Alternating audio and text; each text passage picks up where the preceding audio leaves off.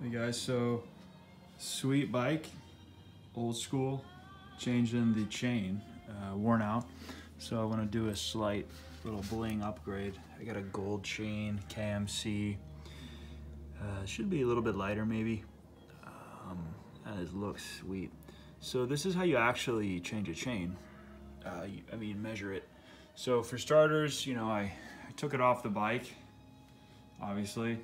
Before you do that, you're supposed to put it in the, you know, shift, you're supposed to shift it into the big, big, and make sure that the chain actually wasn't already, somebody had previously installed too short. So you want, you know, make sure the derailleur's like here-ish or a little bit, you know, if the derailleur's like this, when it's in biggie, biggie, you know that the chain is maybe like a touch too short, so you could add one link um, and then obviously put it in the smally small and then make sure that the chain isn't like rubbing on itself back here.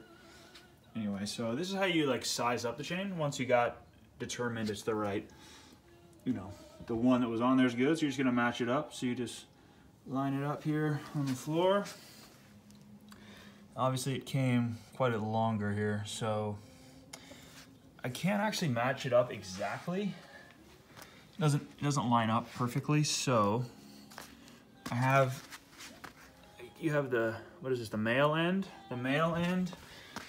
Or that's the female end I guess. However you want I don't know how you want to think about it so.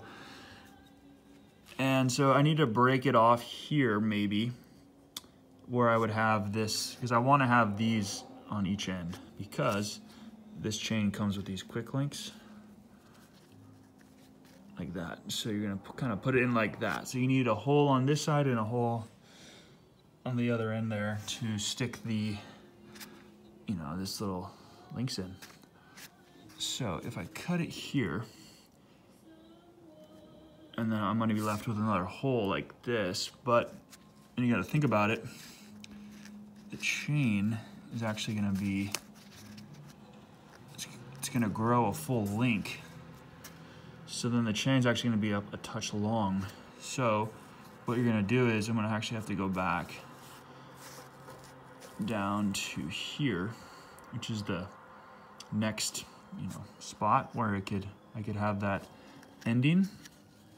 You know, if you set this here, you just you can see from my demonstration that at that point the chain would end here and the current chain ends here.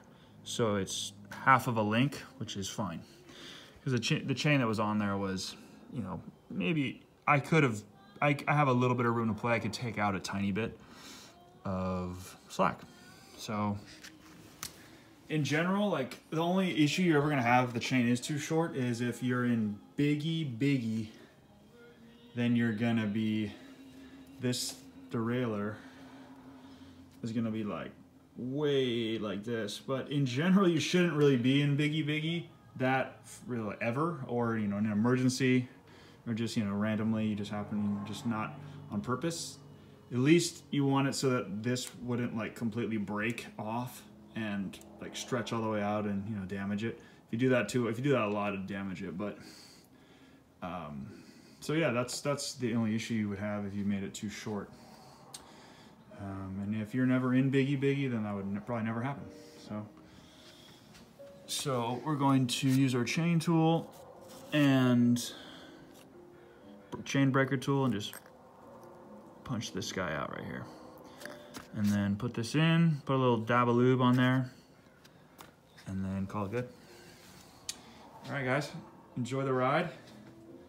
EC90, so sick, old school carbon stuff. All right, take her easy.